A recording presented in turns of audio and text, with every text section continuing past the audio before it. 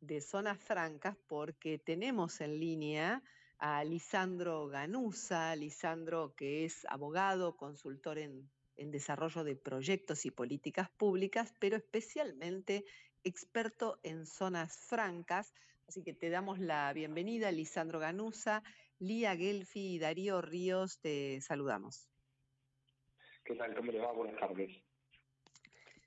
Bueno, Lisandro, a ver, quisiera empezar por preguntarte, eh, vos que sos experto y conocés tanto en las zonas francas, es que definamos un poco eh, eh, cómo, las, las, tres, cuatro características principales de las zonas francas en Argentina y cuántas hay también, cuántas tenemos, que no sé si todo el mundo los conoce.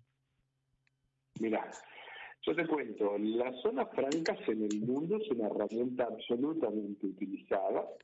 En la Argentina todavía tenemos una mochila pensando que no, no, no, no las hemos entendido, sabido entender como herramientas para desarrollo, como entiende, hay más de 5.000 en el mundo. En nuestro país tenemos una ley de 1994 hoy tenemos que nos permite, la verdad que de manera bastante acotada, a comparación de lo que pasa en el resto del mundo y en la región, entiéndase en Uruguay, entiéndase mismo en Brasil, entiéndase en Colombia, en los países de Centroamérica, las, han sido una herramienta muy utilizada, donde por ejemplo pagas en la mayoría de los países un impuesto a las ganancias tasa cero. En la Argentina, con esta ley PLC, Básicamente es una herramienta de comercio exterior donde vos tenés una cara de importación, una cara de exportación. Básicamente se ha utilizado durante muchos años como un espacio de almacenaje de importación, donde en un país entendamos con una economía cerrada, como ha sido históricamente, o por lo menos en los últimos 70 u 80 años de Argentina, eh, se han utilizado de almacenaje de importación porque, porque no pagas aranceles, porque para ingresar a la zona franca ingresás de manera parcializada, pagando solamente sobre lo que ingresás, para lo cual te permite un beneficio financiero, un beneficio económico, y por otro lado no tenés límite de tiempo. Si lo querés simplificar es una suerte de depósito fiscal sin límite de tiempo. ¿Qué te da la posibilidad de exportar? Eh, básicamente se puede hablar en la posibilidad de exportación el agregado de valor en la cadena de producción.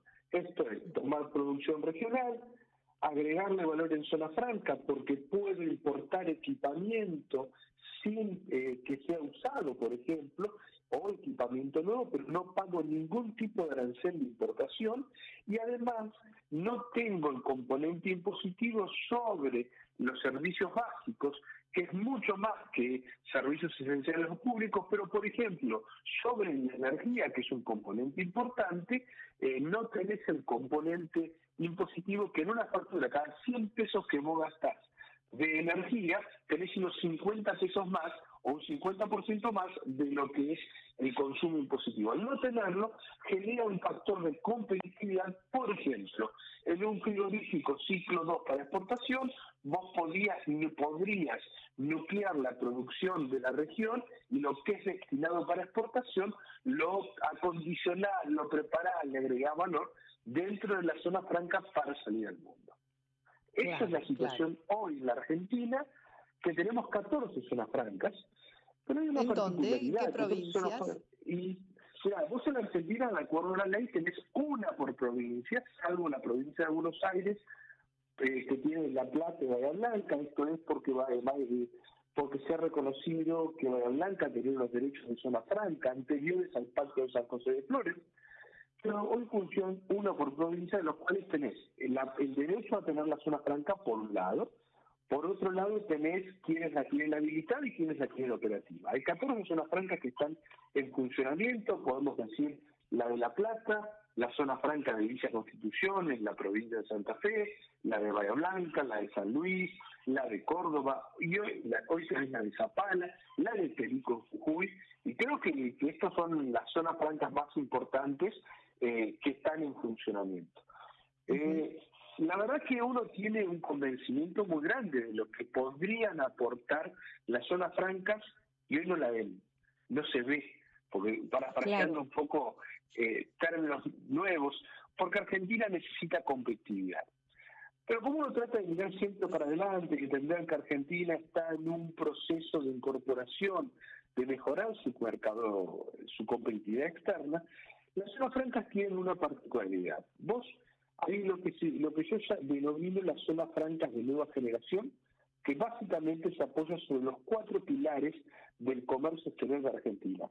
Energía, recientemente aprobada, zona franca de Zapala, en la provincia de Neuquén. Minería, zona franca de Perico, en Jujuy. Alimentos, zona franca Villa Constitución, que está próxima a tener operar, o sea, tiene las obras listas y está próxima a tener habilitado el primer puerto con régimen de zona franca de la Argentina. Y quedaría una pata que, que podría ser la ciudad de Buenos Aires en lo que es economía del conocimiento. Las zonas francas son un factor de competitividad y tienen algo positivo que es hoy están incluidas en el RIGI. Y eso es un tema importante y un desafío importante para que las provincias eh, y los inversores y los empresarios utilicen a las zonas francas como se utilizan en todos los lugares del mundo, para poder darle competitividad a la producción, darle seguridad jurídica, seguridad técnica y hacer mejores intercambios con el mundo, ¿no? Sí, Darío. Eh, Lisandro, Darío Río, te saluda, ¿cómo estás? ¿Cómo, te va, Darío? Bien, muy bien. Bien. Eh, siempre se dice que eh, en Argentina la ley nació vieja, pero también en otros países, eh, como Colombia, más o menos se, inscribió en la misma época y se fueron modificando las legislaciones para hacer lo que una gran un gran desarrollo en Colombia, ¿no? Eh, ¿Por qué pensaste que acá no se puede avanzar con las modificaciones de, la ley que tanto se anuncian? Yo creo que por... Mira, hay, hay dos realidades. La principal, que pasa muchas veces, es desconocimiento, desconocimiento de lo que significa la ley. Muchos te dicen, te miran con esa visión que había en los 80 y en los 90, que en las zonas francas más que negocios se podían hacer negociados porque no se pagaba nada no es la realidad argentina, no es la realidad de las zonas francas. Y hoy, en los últimos cinco años, ha habido un cambio muy importante a nivel de organismos multinacionales y tanto la OCDE como las Naciones Unidas para el Desarrollo, UNTAD, como la Organización Mundial de Comercio y especialmente eh, la Organización Mundial de Aduanas, que es una gran detractora de las zonas francas, a partir de diciembre del 2020, ve las, las zonas francas como herramientas positivas para el desarrollo de los países, siempre que se cumpla con buenas prácticas. Y las zonas francas argentinas tienen pleno control, ingreso, egreso, y tienen facultades la aduana para poder eh, inspeccionar y, trabajar dentro de la zona franca. Yo creo que no hemos tenido la suficiente visión para entender cómo integrarnos al mundo, cómo generar esas ventanas. Yo siempre cuento el caso de China. China era uno de los países más pobres del mundo, y a fines de los 70 ven una necesidad de generar condiciones para mejorar la inversión extranjera, para mejorar la calidad del empleo, para mejorar la tecnología y para capacitar sus recursos humanos. Esta decisión son las primeras cuatro zonas económicas especiales o zonas francas y hoy China representa el 19% del PIB mundial y tiene más de 2.500 zonas francas. Es el gran herramienta que tiene de éxito que ha tenido China y que el resto de los países de Asia-Pacífico, que ahí Argentina tiene un interés muy importante porque está donde están los futuros negocios de la Argentina para lo que es intercambio comercial, entiéndase eh, Malasia, Singapur, Indonesia, Filipinas, Vietnam, son países que copiado este modelo y han, eh, han logrado han, han, hecho de utilizar las zonas francas como esta plataforma para apoyar el comercio exterior. Eh, yo creo que la Argentina ha tenido hechos importantes. Yo te voy a decir la verdad, eh, el RAFAM, que es el régimen de aduana factoría que tienen las automotrices, son regímenes de zonas francas. El RIGI son regímenes de zonas francas. La realidad es que uno busca que a nuestra industria nacional o a nuestra producción porque mantenés el concepto de mercado interno, se le ofrezca estas ventanas de, oportunidad, donde vuelvo a decir que las zonas francas hoy son todo lo contrario a lo que se pensaba en los 80 y 90. Es donde los países de Latinoamérica, que tenemos una cultura del informalismo de más de 200 años, vamos a poder cumplir con las mejores prácticas, pero para eso necesitamos tener beneficios. Ese yo creo que es el desafío próximo que tiene la Argentina. Hoy no sabemos cómo hacer que nuestra producción llegue en cantidad al mundo. Nos faltan empresas que crean, que, confíen, nos faltan decisiones de entender el mundo hacia dónde va y claramente creo que las zonas francas son una herramienta que se puede, que se puede aprovechar en demasía. Hoy Enrique da una oportunidad al, al tenerlas incluidas.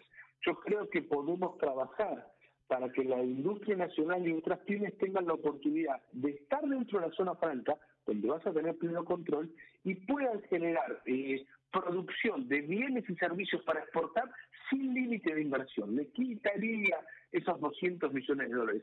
Y creo que de esta forma empiezo a integrar las grandes inversiones de más de 200 millones de dólares con, el desafío que puede tener en, la producción argentina para integrarse al mundo. Y ahí las zonas francas son solución.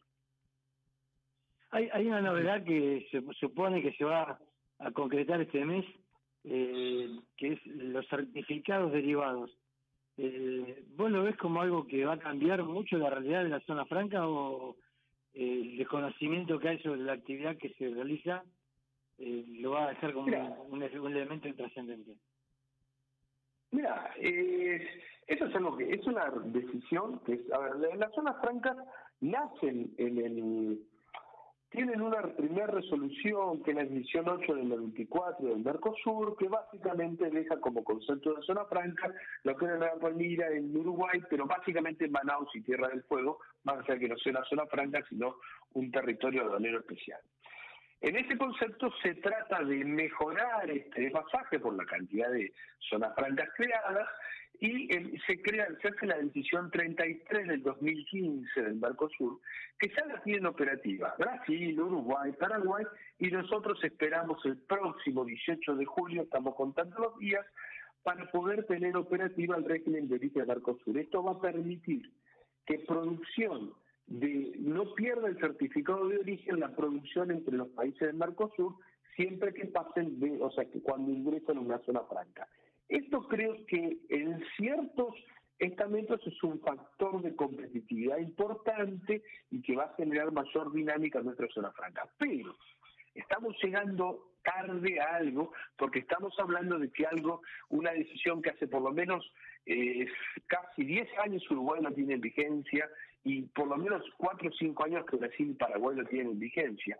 Y hoy fíjate que Brasil y Uruguay han hecho un acuerdo eh, durante el final del gobierno de Bolsonaro, donde eh, hace un acuerdo donde se reconoce la producción de la zona franca que ingresan al otro país con arancel cero. Esto fue registrado en el ADI y Argentina podría, debería pensar en cómo sumar, no discutir la, la acción, sino ver cómo sumarse para generar mayor dinámica a través de nuestro régimen de zona franca.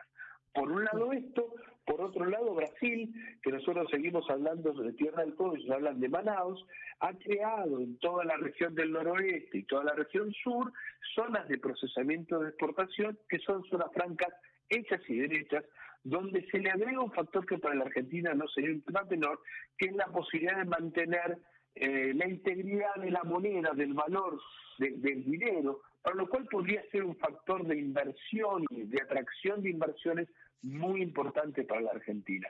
Yo creo que no tenemos que quedarnos solamente con la, la esté operativa el 18 de julio, que es un paso de bienvenida, el 18 de julio la decisión 33 del Mercosur, este régimen de origen Mercosur, sino que tenemos que avanzar a, a, estar a la altura de lo que está pasando, no solo en el mundo, sino en el resto de los países del Mercosur. Lisandro, una, me quedé pensando y te hago ya la última pregunta de, de hoy.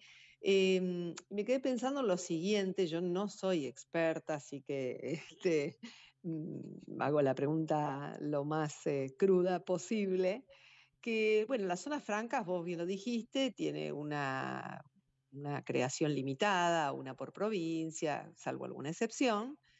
Eh, con lo cual, ese beneficio tampoco puede eh, abarcar a, todo el universo de empresas, porque no las pueden alojar a todas para que hagan todas estas actividades con todos estos beneficios dentro de la zona franca.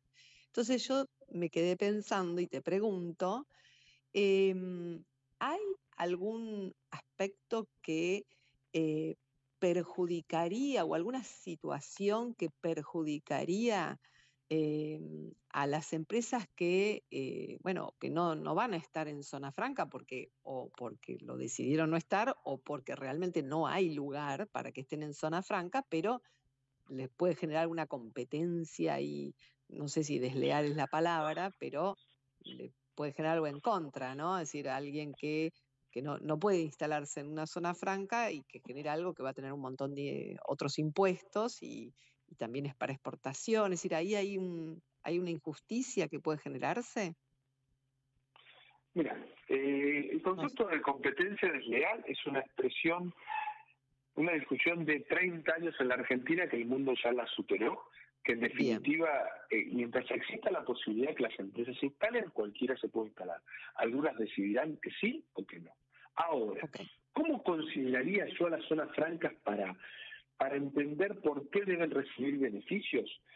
Nosotros tenemos una situación de eh, estar muy fuertes en la primarización de la economía, eh, en, los conceptos con la exportación de primarización de la economía, y eso nos permite a nosotros, por ejemplo, ser fuertes en alimentos, en, minería, en energía y demás.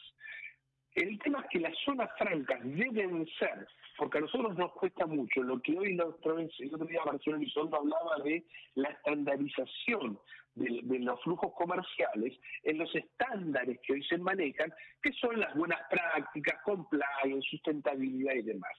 Las zonas francas deben ser estas ventanas donde nosotros estemos obligados a cumplir con todas esas buenas prácticas, pero, pero tengas con la contraposición de beneficios. No toda empresa quiere estar en una zona franca, no toda empresa quiere ser controlada. Algunos hacen la diferencia, vamos a hablar claramente, algunos hacen la diferencia de una manera especial, por fuera de las normas, pero entonces. ¿sabes qué? No te vas a poder integrar nunca el comercio internacional más allá de la privatización de la economía. Si queremos agregarle valor, si queremos subir nuestro estándar de exportación, claramente debemos tener espacios con buenas prácticas, con decisiones con absoluto control, donde y, donde pero donde reciban la contraprestación de beneficios. Ese yo creo que es el fundamento o el funcionamiento que deben tener las zonas francas en América Latina. Perfecto, Lisandro, muchísimas gracias, clarísimo. Ha sido un lujo tenerte acá en Conexión Parques y esperemos que eh, puedas este, darnos también tu tiempo próximamente para seguir charlando sobre este tema y que cuando haya novedades, ¿no? Por supuesto, a disposición el programa. Muchísimas gracias y quedo también a ustedes. Muchas gracias. Hablábamos con Lisandro.